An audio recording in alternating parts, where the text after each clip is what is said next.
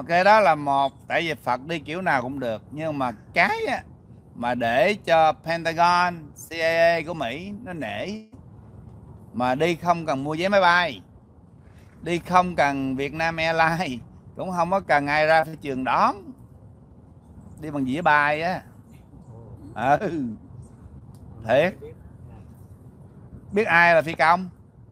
Mấy người xám 4 feet thấp thấp như nè thì ý con muốn nói cho này trong tương lai mấy thằng đó à, chẳng qua là cũng là mình thôi. Hôm nay bác ngư ngồi đây mang tước này. Kiếp sau bác ngư không có thích xuống cái trái đất ta bà này khổ ta bà quá khổ. Tôi muốn làm đầu thai làm người dễ bô để sống được 700 tuổi. Cái thành tinh của tôi ăn ngày có hai muỗng cơm mà tôi sống được một tháng. Tôi không cần yêu đương tôi không cần phải à, đi kiếm gái à, gì đó đại cái. Cái đó là chứng bệnh của mình phải không? Thì tôi đi ngoài vô hành không gian tôi đi từ thành tinh này thành kia là tức là người sáp cũng là chúng ta là người thành tinh đó. Mỗi một lần mình chuyển thế mình có quyền chọn lựa. Thằng Alon đó nó bên kia hôm nay nó nó chuyển thế nó chọn lựa vô làm người trái đất của mình. Thì mình cũng có quyền chọn lựa qua cái trái đất của nó. Nhưng mà tất cả mỗi trái đất mỗi hành tinh của cha đặt ra là mỗi một cái tầng lớp cũng giống như trường uh, San Jose State rồi trường Harvard rồi trường Berkeley thì cũng là mỗi một cái trường để học một cái công thức khác. Thì mình nói chỗ này nước Việt bây giờ hồi nãy mình nói là à, chế độ cộng sản mà để lại là để đóng rác bùi nhùi đúng không? Là khó lắm nhất là về cái nhân trí đạo đức không có. Thì mà muốn thành cường quốc bằng cách nào? Lẽ nhất thấy thằng lo á nó hồi xưa nó ra cái hãng gần đây nó chưa có tới uh, như 10 triệu nữa. Bây giờ nó bốn năm trăm tỷ mà nó có mười mấy hai chục năm mà lên lệ vậy bộ Việt Nam mình Đức Thầy ông nói hai người xám mày dạy cho đệ tử tao một món gì cho nó uh, uh, kiếm cơm ấy chỉ món một thôi là xong. Món đó mình đâu biết là món gì nhiều nhiều khi á một à, cái loại à, loại à, máy tàn hình phải không? Tức là đi không đã không thấy. Ông con không biết nhưng mà con à, tiên cơ con chỉ nói vậy á chơi chơi mà trúng thiệt làm sao? Tại khi xuống ở quả địa cầu này lập lệ cái thời thượng nguồn á nó không chỉ riêng của người mình mà luôn cả người thành tinh cũng xuống đây để giúp Phật Thánh Tiên nữa. Tại các vị nói chuyện với nó cũng giống như mình ngồi đây mình nói chuyện vậy thôi à. Nó đâu khác gì đâu. Nó cũng là con của thượng đế mà, nó nghe lời. Bây giờ ngài lo nó mang cái tướng đó, thì người ta không sợ nó. Nhưng mà nó quá ra hình thằng dứa vô có mắt bự, ai ngồi ai mà ngồi họp với nó? Muốn ngồi họp thì thì thì mày phải mang thân người của tao. Cũng giống như giờ con trên trời, tướng con đâu phải như vậy còn muốn nói chuyện với quý vị, mình phải mang cái thân này. Nó cũng vậy thôi à. Không có khác gì hết. Nhưng mà mình trên trời đẹp trai lắm á. Ờ cực kỳ siêu luôn. Bữa nào nói dù nè xuống đây nóng lạnh, nắng đồ xấu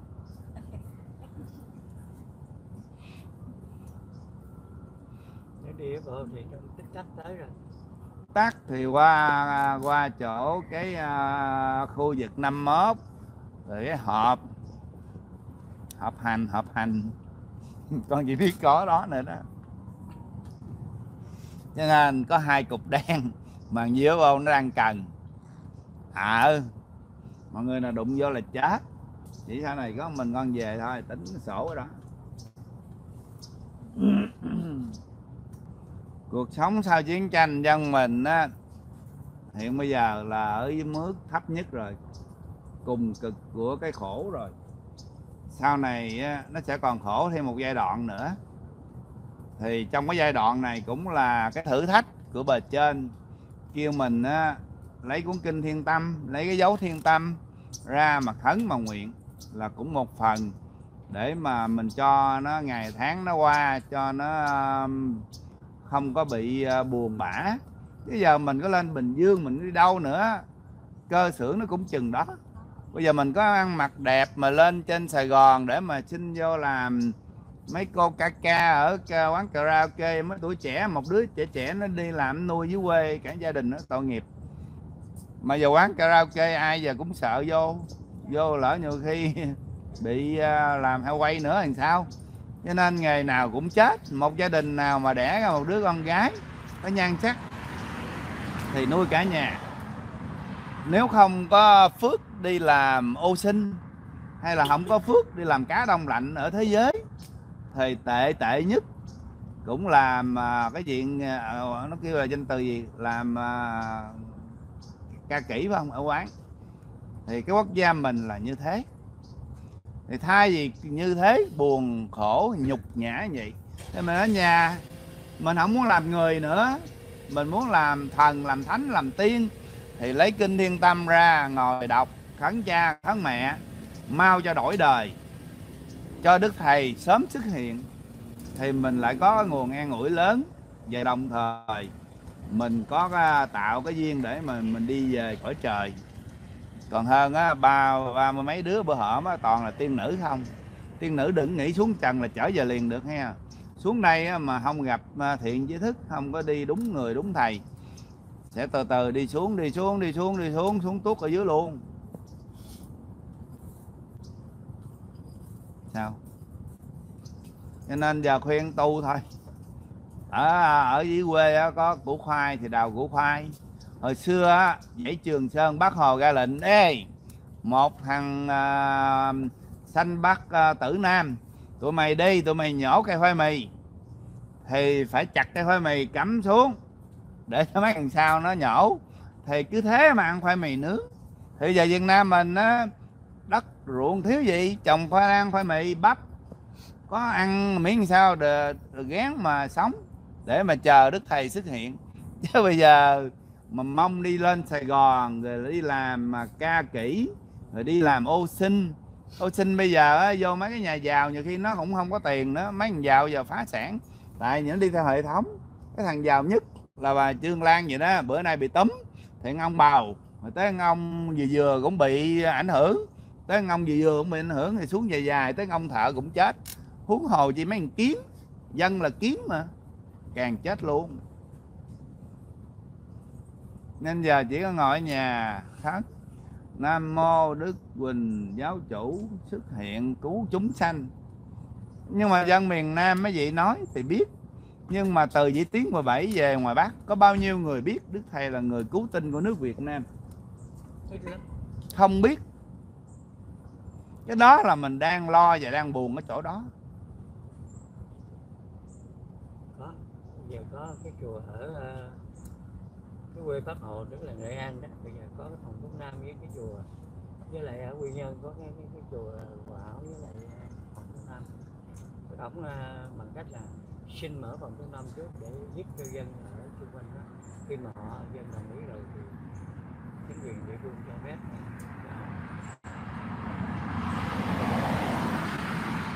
nhiều điều quá điều rất nhiều Sư phụ ơi, có người hỏi là làm sao biết mình là một người có sứ mệnh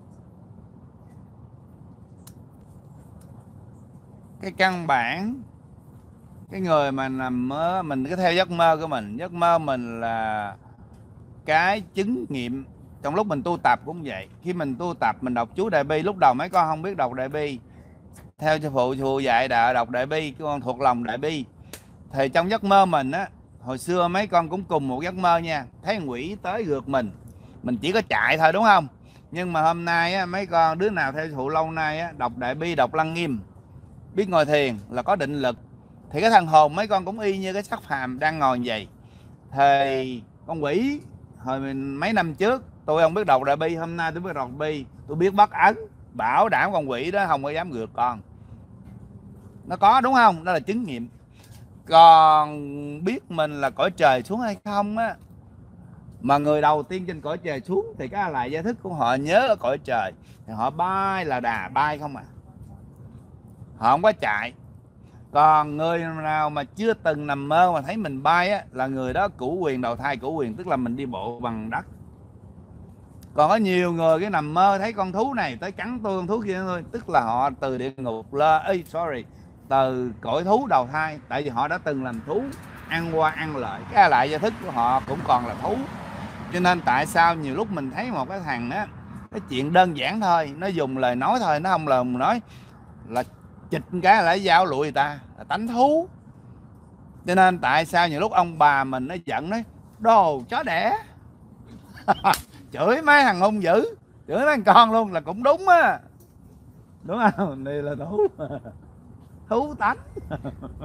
Cho nên mình theo cái giấc mơ mình để mình biết mình là cõi nào. Hụt bay không à không có đi bộ ừ. Vậy cho con muốn hỏi là ví dụ như một người mà người ta nằm mơ trước khi người ta có gia đình mà người ta nằm mơ thấy người ta ở trên trời người ta ca hát sau đó một thời gian khi lập gia đình rồi bắt đầu giấc mơ nó không có liên tục nữa mà bất động thì ở trên trời á con có biết là à, hội bàn đào à, tiên à, rượu tiên rồi đó trên trời cũng có uống rượu tiên nghe mấy ông lão tiên rồi uống rượu. Rồi hội bàn đào của mẹ rồi đó. Thì ở trên đó, đó nó gọi là càng thác bà. Những cái người mà gọi là càng thác bà trong kinh lăng nghiêm có nói là ở trên đó nó ca ca sĩ. Ờ, đờn ca cho tất cả tiên chúng và cho cha cho thượng đế cho phật đồ ngồi nghe. Ở trển cũng như mình thôi ở trển là tờ giấy màu mình là tờ giấy trắng đen mà thô kệch. Còn ở trên kia là tinh tinh vi hơn đồ ăn ở trển tinh vi hơn. Đó là nó vậy. Thì những cái người đó là từ ở trên trời chắc ca dở quá hoặc là ca à, ca làm sao bị đạp xuống thì giờ nó thành đàm vĩnh hưng nó thành à, à, lợi quyên rồi nó thành gì đấy rồi tùm lum á. Rồi à, nhưng mà nó có phước một đời. Không có biết tu giống như là như như quỳnh hay là phương nhung gì đó. Là cũng ở cõi trời xuống một kiếp mà không có tu tập tiếp tục. Kiếp sau sẽ quên ca. Tại kiếp này tham tiền tham cái quỷ không? Kiếp sau là phải trả mấy cái nghiệp này rồi từ từ cái đi xuống lại. Tức là khi mình tuột dốc rồi đó mình không chịu thắng lại là mình đi luôn. Rồi cái câu mà con hỏi tại sao lúc chưa có chồng? Thì lại biết mà nằm mơ thấy mình ca. Thì cái lại gia thức con lúc đó nó còn tinh khuyết. Còn bây giờ có chồng rồi cái lo yêu đương bắt đầu à, dính vô một cái ghiền rồi. Ghiền mê trai hoặc là ghiền chiều trai thì thì mấy cái đó tự động nó quên thôi. Bây giờ con không mê thì con phải chịu đúng không? Lại dính vô là phải chấp nhận. Chứ không thôi à, con không có được uh, lấy tiền xài của nó.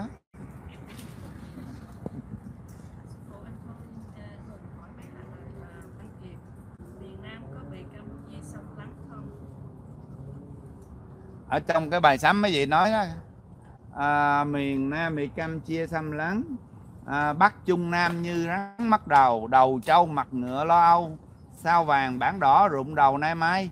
Có cái bài sắm đó đó là miền Tây bị miên sang xâm lấn. Là cái bài đó thì phụ đọc nhiều lần trên mạng rồi. Thì là sẽ có mà cái bài này đọc cách đây hai ba năm là đã đọc trên mạng. Mà hôm nay lúc thời đó là Trung trọng nó chưa thừa nhận nó có căn cứ. Ờ, hải quân và không quân ở đó. Hôm nay Hussein ra mặt, muốn chơi xỏ lá mình nữa, đúng không? Hồi xưa Hussein còn dạ dạ bắt trọng dạ dạ bắt phúc. Hôm nay nó đâu dạ nữa đâu.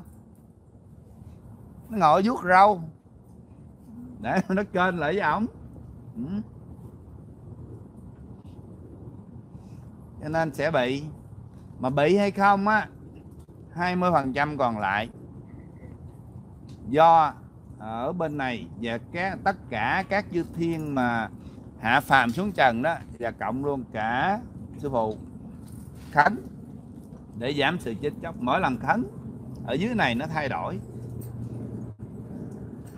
Mỗi lần khấn á, thì cái cơ vận bị trễ.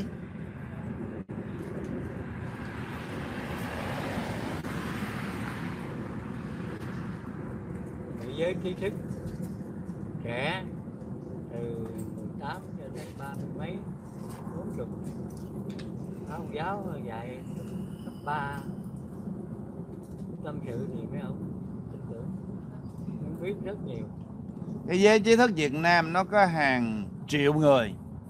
Ở cái tuổi ăn học giỏi có một chút vốn. Ở tuổi độ 35 cho tới 45 cái giới đó, đó là cái giới rất là thiệt thòi trong thời đại này là gì muốn làm giàu làm giàu không được. Muốn làm nghèo cũng nghèo không được. Muốn tu cũng không xong. Muốn cái gì cũng không được hết. Muốn đi nước ngoài cũng không được.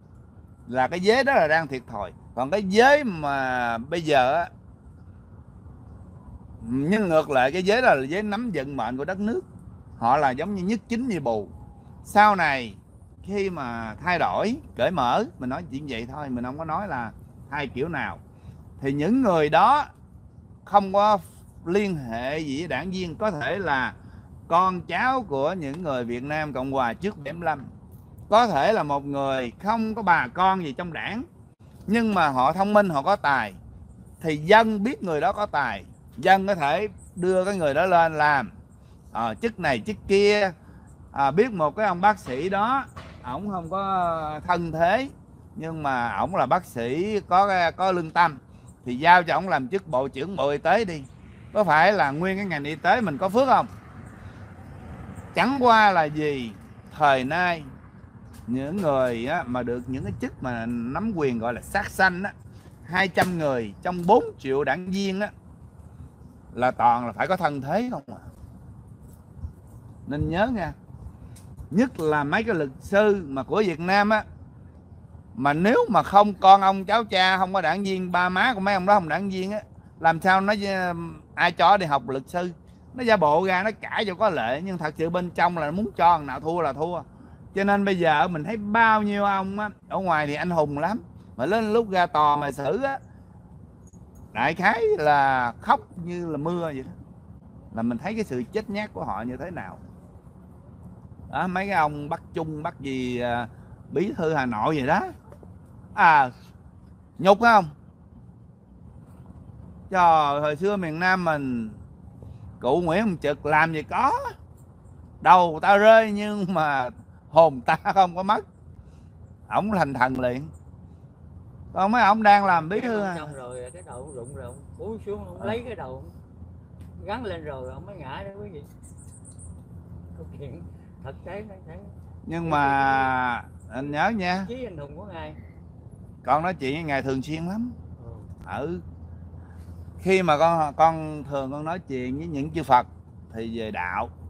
Con nói chuyện với mấy vị Việt Nam rồi trong đó có ngài Nguyễn Minh Trực ông về ông dạy con vui lắm mà mỗi một người mỗi một vị về dạy. Rồi đức thầy thì dạy về chuyện của đức thầy. Cho nên cái đầu của con á nó có rất là nhiều vị dạy. À, con về có một lần mấy gì mà về à, nước Việt á về coi về binh tướng nước Việt á cả bắt giáp của mình giờ cũng làm lính của Nguyễn Văn Trực á. Đừng có tưởng là ở đây làm tướng rồi qua kia được làm tướng tiếp không có. Cả bác à, Trần Đại Quang bây giờ cũng là gác cổng của miếu ông Hắc Đế mà. Ừ, cõi kia khác cõi này.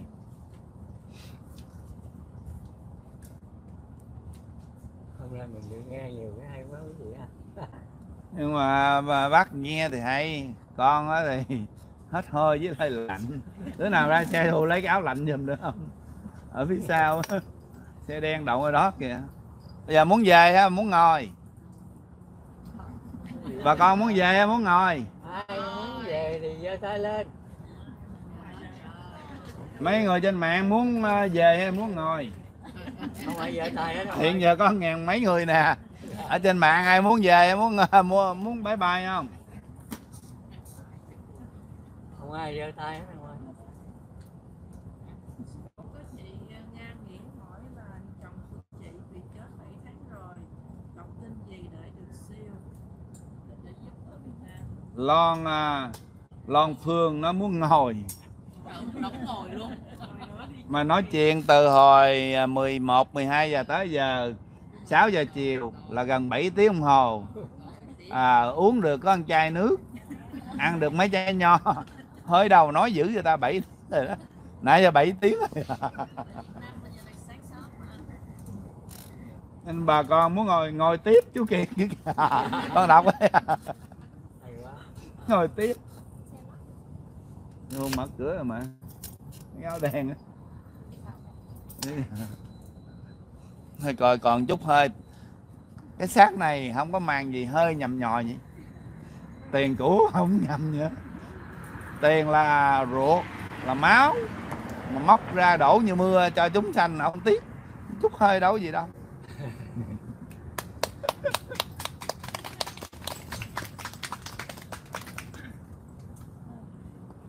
Hắn lời tiếp tục. Ờ, anh giỏi qua đây anh nói từ 11 giờ sáng tới giờ Mỹ gần 7 giờ chiều tức là 8 tiếng đồng hồ rồi đó anh nói anh tiếp tục. Ở đây người ngồi nghe cũng vừa lạnh vừa đói nè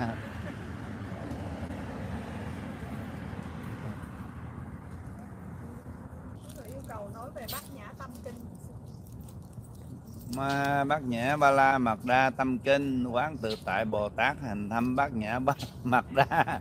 Thời chiếu kiến ngụ ẩn dai không? Đọc không? Chùa đọc. Thôi, giờ mệt quá. Bộ đọc mỗi ngày.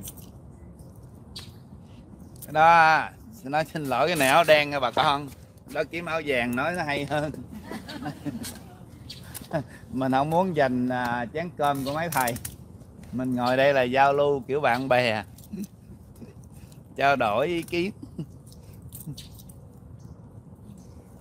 Mấy đó kiếm mấy thầy nhật từ đó giỏi. Tại vì mình nói về đạo á, mà riêng về á, mình nói phỏng phỏng thì khác. Mà mình nói, mình giải thích cái đó đó, là bảo đảm 100 mấy ông thầy vô comment ngày mai là chửi mày liền á. Mày giảng dễ ẹt thì mình dở mình nói chuyện chưa dở đúng không? Còn thầy giỏi cho nên câu đó nói cho mấy ông nội mấy ông thầy đó. Mấy ông có giảng dở giảng giỏi gì cũng không ai la mấy ông. Còn mình mà đụng một cái là mình mệt lắm á. Áo màu không dám đụng với ờ, áo đời. Đời không có đụng với màu. Ok. Đạo đời song tu có phải là chân lý của thời đại mới? Exactly đúng rồi đó người này khôn á cho nên sau này con người mình đi vào không gian dưới ô là vậy. Chứ không phải mình tu là ích kỷ ngồi trong ngóc mà không có biết làm di mạch không có biết giúp nhân loại cũng không có biết gì kiếm tiền. Bây giờ mình nói trước mặt mình nè. Đám con thiên ngồi đây. Ít có cờ, ít có mặc áo chàng. Ở đây không áo chàng á, mình cũng huyền nói. Cờ gục cờ gù đúng không? Bây giờ mình mình đem 10 à, một cái nhóm bữa hổm mà tu chùa 50 người mình nhìn những cái khuôn mặt đi chứ nhìn những khuôn mặt này ai lanh hơn. Đúng không? À nhưng mà mình hiền hơn nữa đó. Thật sự là mình hiền hơn á. Hôm qua có một đứa đệ tử nó nói, từ lúc thầy thụ tới giờ ai nói gì con cũng không cãi hết. Còn mấy bà phật tử trong chùa đụng một cái thử rồi biết ừ. khó lắm. Cho nên thời đại văn minh, tức là ở ngoài đời, mình cũng không có để ai khi dễ con cháu họ thiên. Mình kiếm tiền, mình không có xin ai. Mình không có xin tiền Obama, mình không có xin tiền bệnh, tiền già gì hết. Mình không phải chờ đến lúc bệnh tật già rồi mình mặc áo chàng vô chùa. Mình tu từ lúc còn nhỏ xíu tuổi này. Tu mỗi giây mỗi khác mỗi một công việc làm mình vô hãng. Mình giúp đỡ những cái đồng đội của mình, những cái người mới vô mình không có ăn hiếp mình làm 8 tiếng là 8 tiếng, mình không có ăn gian giờ của chủ. Cái đó là tu hết đó. còn nhiều người đâu có hiểu cái đó. Rồi, mình biết được cõi trời, mình giữ được giới 12 giới luật. Rồi mình lập cái bàn thờ cha mẹ ở nhà, mỗi nhà ở nhà mình lại. Mình không có chạy vòng vòng, chùa này, chùa kia, khóa này, khóa nọ. Còn mình có tiền nhiều á thì à, tự tay mình đi làm từ thiện. Thứ nhất mình không có tạo nghiệp là làm hư mấy ông thầy. Thứ hai mình nhờ anh em bà con á nhiều lúc nó trận mình khúc. Mình biết được á, mình nổi sân thì cho nên không có ai có công đức gì hết trơn á. Ừ. Đó là họ thiên là vậy. Thì uh,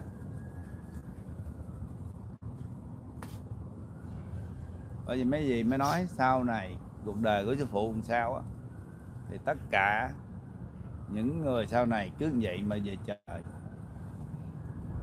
Nghĩa là mình chánh niệm từng giây phút, từng hơi thở. Mình từ lúc làm việc cho tới từ lúc vô lên núi, vô chùa. Và khi mình lên máy bay ra phi trường, mình thấy tất cả những tỷ muội của mình mang dấu này, mình phải tới chào hỏi. Chào cho đó người Mỹ hay người Ấn Độ và lấy số điện thoại có sự liên kết. Rồi người đó nhiều lúc nhiều khi cái hãng mình đang cần mướn người. Tự nhiên mình gặp người đó đang đang lại đó, có phải là họ thiên giúp họ thiên không? Tức là mình tương trợ lẫn nhau là vậy.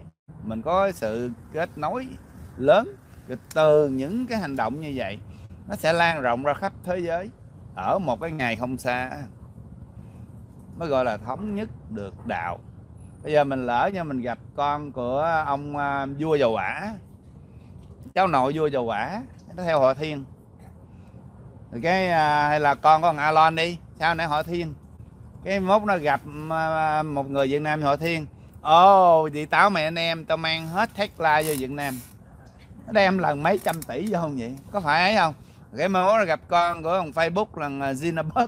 Hey, cái họ đưa Facebook vô nếu mà cháu ngoại nó họ thiên tại vì sớm hay muộn nó cũng họ thiên. Tại mấy thằng đó nó ở vùng này. Ừ. rồi thí dụ mình gặp cháu nội của ông Michael Shop Bill Gates là họ thiên luôn sao? Đó cái chuyện đó vậy mình khó đoán lắm.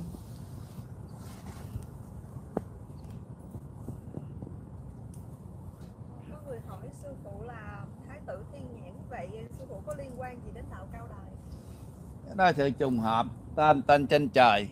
Còn cái con mắt mà nhìn xuống á không biết là mắt của ai. Nhãn có nghĩa là con mắt. Mà đã có đài tự nhiên lấy cái tên ngay mắt của mình. Cái đó sư phụ chưa cầm lên nó còn đi hỏi. Đó là tên trên trời là tên đó. Tự nhiên dưới trần cái lấy cái đó, lấy cái tờ, lấy lấy con mắt lấy con mắt. Nhưng mà bây giờ có nhiều người cứ ghép hai cái đó thành một.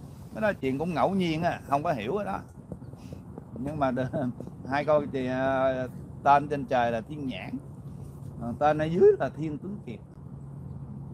Nhưng cha mẹ trên trời kêu là thiên nhãn. Mỗi ông anh đều là thiên hết. Ờ, à, thiên uh, nhiều lắm mà không nhắm nói tên này. Đây còn uh, mấy bà chị á là cũng là thiên cũng như thánh mẫu liễu hạnh là người đời gọi thánh mẫu liễu hạnh. Chứ thánh mẫu cũng là thiên mà có một cái tên nữa chứ không dám nói nói mấy con khánh tối ngày thánh mẫu cũng mệt. Làm gì biết tên cúng cơm của tôi nữa. Không bao giờ à, người cõi đời làm sao hiểu được. Nhưng mà đều là thiên hết. Nhưng mà có một cái mấy con thấy gì không? Mấy con tự nhiên làm anh em với toàn là phật với bồ tát với thánh thần không? Hội thiên thiên nghiêng ngân rồi nè. Con thấy có vui không? Còn á, bên à, mấy cái đạo khác người ta đâu có ví dụ chúa giêsu là chết có ai tên người giống chúa đâu toàn là uh, maria ở này không ở là diệu này diệu kia đâu có đâu có giống là thích gì đâu. Chỉ có mấy ông thầy á, lên tới thích là thích đủ thứ luôn. Thích thượng tọa. Có mấy ông là giống họ thích. Còn họ thiên là anh em con ruột của ông trời hết. Ai cũng giống tên nhau hết Phụ nói về 3.000 thế giới 72 địa cầu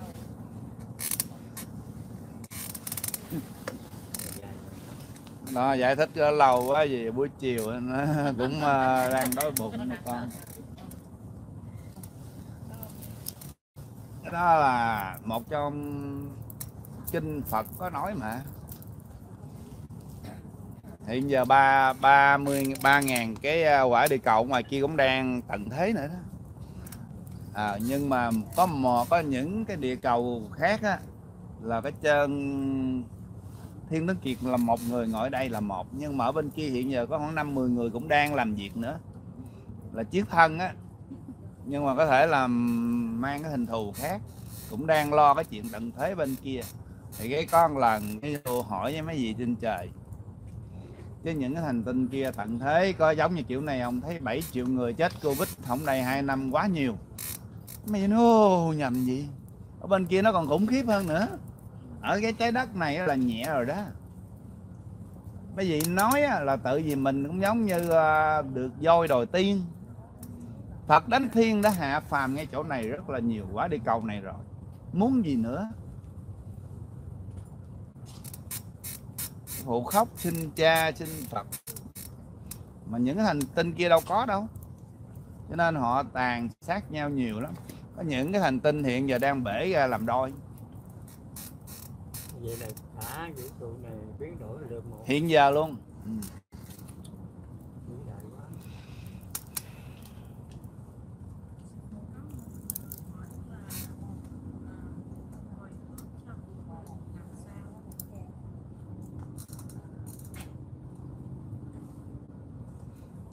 vậy cũng đi hỏi gì vậy ợt ông bà ngoại ơi, đi về trời giùm con. Cứ nói vậy á má ơi, đi về trời giùm con. Là hồi hướng. Hồi hướng của quyền là giống vậy thôi, cái ý vậy đó. Đừng có theo con hoài, con cúng hoài cũng mệt quá. Đi vô nhà đồ ăn không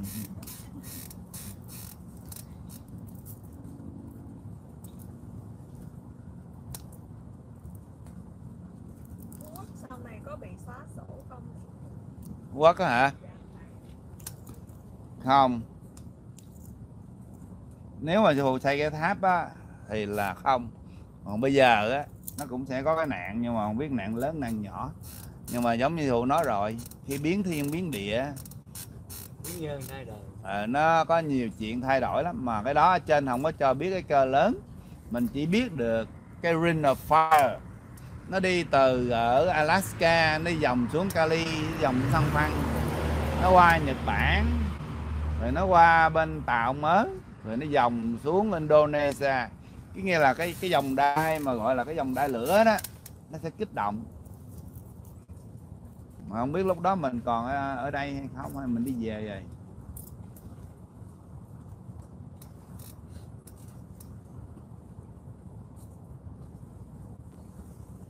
Ok 10 phút nữa rồi mình đi nha. Tạm biệt quý à, quý vị, một ngàn mấy người ở trên à, online nè. Nói chuyện từ hồi 11 giờ sáng ở Mỹ, Bây giờ tới à, 7 giờ chiều ở Mỹ là liên tục 8 tiếng. Không ăn, không uống Uống sương với uống nắng với uống gió. Quý vị chịu nổi không? Chịu nổi thì qua Mỹ đi. Tại nãy quý vị đang ngủ, Bây giờ tới trời đông rồi giờ ngàn mấy người. Tại vì không lên mà online á người ta buồn. Giờ bữa nay online ở ngoài này à, thử một bữa. Cái 10 phút nữa về. Sư phụ nói Việt Nam bây giờ cần chuẩn bị những Việt Nam cần chuẩn bị những gì hả? Cầm gậy với đòn dông. Lùa dịch. Dịch Trung Cộng với dịch áo vàng. Dịch hàng xóm mình đó công an. Tại mấy vị kêu mấy ông công an giống như dịch vậy đó ô, nó đông nhưng mà nó như bài dịch là con, đừng lo.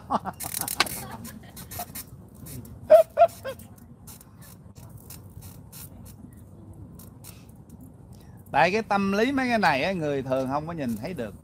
Ừ, nhưng mà bề trên biết hết. Ừ. Hôm nay mấy gì nói, công an giống như bài dịch á. À cái gì mấy ông chết nhát lắm.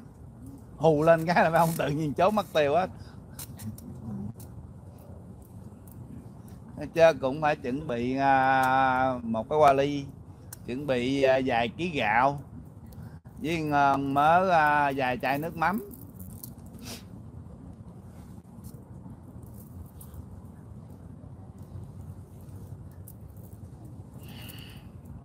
Nhưng Việt Nam giờ đang chuẩn bị gì? Tầm dông giặt nhọn.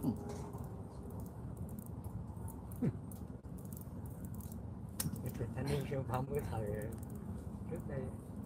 chứ Việt Nam á tụi nó nhồi sọ đến hôm nay bị khiếp đảm quá. Ai?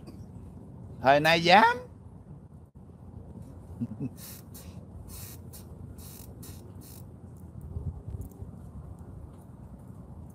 Nhưng mà quá.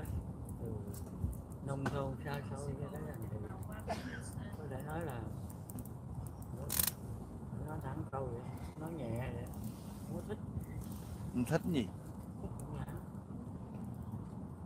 có ai thích đâu. Trên thế giới này khi mà thiên ma mà nó đưa cái um, cái chính sách gọi là các mác Lenin xuống á để mà nó thâu tóm trái đất này á rồi chư Phật với thiện thần nữa bắt đầu mới giật cái trái đất này lại. Chứ nếu không cái trái đất này á nó sẽ không còn màu xanh luôn á con mà không khóc hồi lúc đó đó hả? Hôm nay nhân loại không biết. Sao ờ à, thật sự là việc là người khóc sinh cha đó trong kinh sáu quyển cả thế giới này tôi thấy chỉ có một mình ông. Không có người thứ hai. Đâu. con thì không biết nhưng mà à, con với đức thầy á, là lúc nào cũng cặp bài trùng một đời hai thầy trò, tái sanh, đóng dây hời dây hời cho chúng sanh, chửi chúng sanh cười. Hồi xưa sư phụ cũng bị chửi, đúng không? Sau này ta mới biết ổng mà ai. Thời nay con cũng vậy. Hồi à, xưa, sư phụ là ông khương tử nha câu cá, thì cũng bị chửi. Thì nó hôm nay cũng khùng câu cá, không có lưỡi câu câu gì? Tám mấy tuổi. Ừ đời nào cũng bị chửi. Đời này là bị chửi nhiều nhất. Là tự vì hai thách điện thoại vật chất nhiều quá nó làm cho những cái lớp mà cột trụ của nước Việt đó, là mấy đứa nhỏ là cột trụ. Cứ chạy theo những cái đua đòi vật chất không à. Về phần tâm linh tụi nó không có hiểu thì nó không tin. Mà hôm nay sáng sỉnh chiều say ngày ba cửa cà phê nó biết nó uống bia có chất độc. Nó biết ờ, biết nó uống cà phê có chất độc.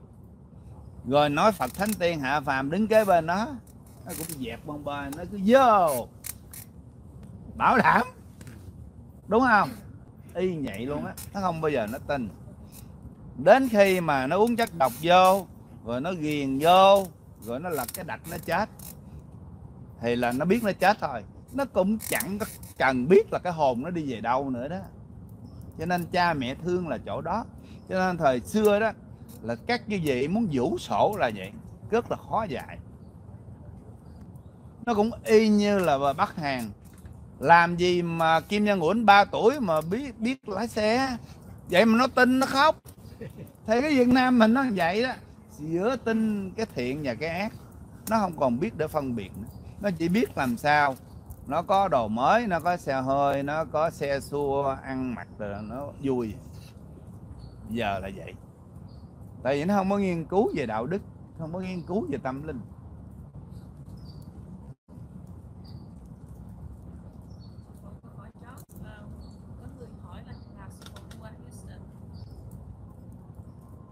Cũng sắp sửa. Ồ, đâu nói trước khi nào đi là đột sức đi nếu nói trước nó công nó mướn mười sát thủ mà cầm 10 súng để chờ sẵn sao? Phụ giờ á, cũng có nhiều người ghét chứ đâu phải ai cũng thương đâu. Đi đâu cũng phải cẩn thận đột xuất đột xuất đây phụ tiết kiệm tiền. Thí dụ có bốn rồng hộ mệnh có rất là nhiều mấy vị đang đứng đây nè. Nhưng mấy vị bờ trên nó cũng kêu là con phải mướn người trần để mà hộ cái xác phàm lương của sư phụ lãnh trong hãng này có 250 ngàn năm. Mà mướn hai thằng nó lấy hết lương của mình sao? Chưa chắc có tự do nữa. Mà nó mướn thí dụ á, ok ngày tôi theo anh à, 10 tiếng. Mà nãy giờ sáng giờ anh ngồi đây 8 tiếng rồi bây giờ tôi đi về. Tôi cũng có vợ con tôi phải ăn cơm. Nội nó đi về thôi là thằng nó sau lưng nó nẻ mình này cũng như không. Cho nên mỗi lần sư phụ ngồi ở đây ngon ngon. Có thằng nào ở vô chạy. tức là tự mình bảo vệ mình vừa tiết kiệm tiền với vừa né. Có một cái là từ bi không có kẻ thù. À, mà ai ghét sư phụ là người đó quá vô lý. Bảo đảm người đó cực kỳ vô lý luôn. Có tiền cho ra chứ đâu có lấy ai đồng nào đâu mà ta ghét. Ok đủ 10 phút chưa? Giải tán nha. Thế chứ mình ngồi đây hoài chết luôn á. Xin tạm biệt.